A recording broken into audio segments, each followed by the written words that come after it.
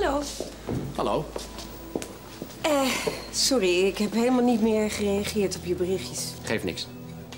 Geeft niks. Nou, het spijt me, ik had nogal wat aan mijn hoofd. En, eh, Je hoeft je niet te verontschuldigen.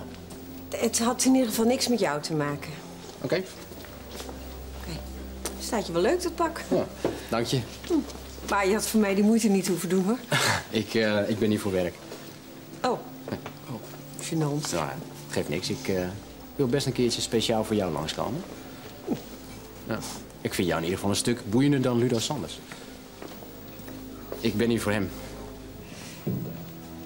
Sorry, maar wat heb jij met Ludo te maken? Ik werk als financieel manager voor het AZM.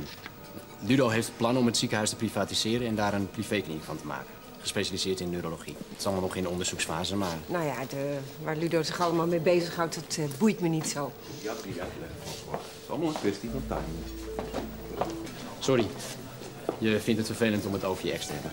Nee, nee, nee hoor, ik ben helemaal niet meer met hem bezig. Ja, nee, dat eh, heb ik gemerkt de vorige keer. Oh, dat, eh, dat gedoe bij de lift. Hm, Hou op, alsjeblieft. Nou ja, een beetje grappig was het wel, toch? Ja, heel grappig. Ja, of het nou zo grappig is dat ik voor mijn werk met Ludo te maken heb. eh, Nou ja, eh, zullen we erover ophouden? Hm? Ik heb het veel liever over iets anders. Oké. Zoals? Ehm, ons leeftijdsverschil. Ja, laten we het daar nog eens over hebben. Nou, In het pak zie ik er zeker tien jaar ouder uit, toch? Ja, minstens. Ja. Nou, kunnen we eindelijk eens daten.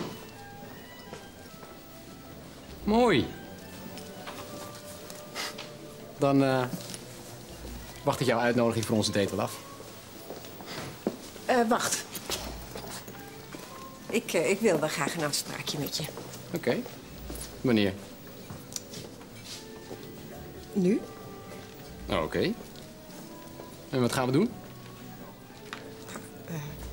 Iets drinken?